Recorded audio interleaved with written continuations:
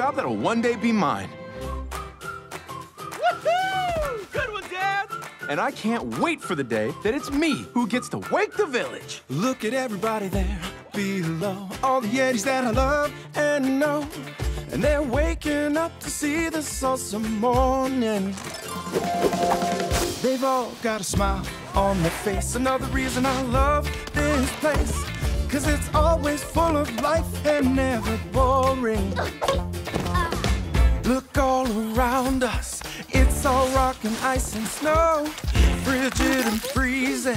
Yeah, it's pretty great, I know. And hey, hey, it's another day like every other. And I don't wanna change a thing.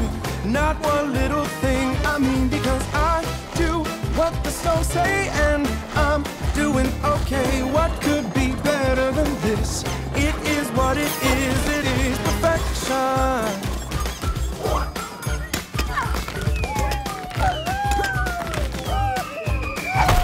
everybody do their part, and they do it with a happy heart. And it gives them all a sense of greater purpose.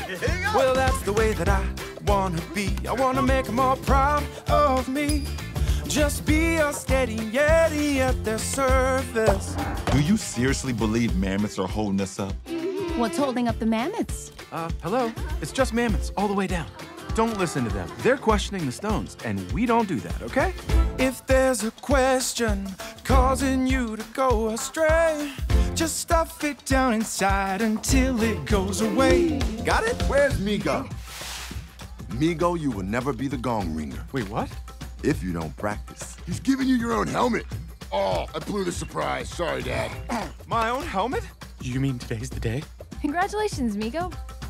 Big day, son. Hey, everyone! I get to do a practice gong! Now we all say, hey, hey, it's another day.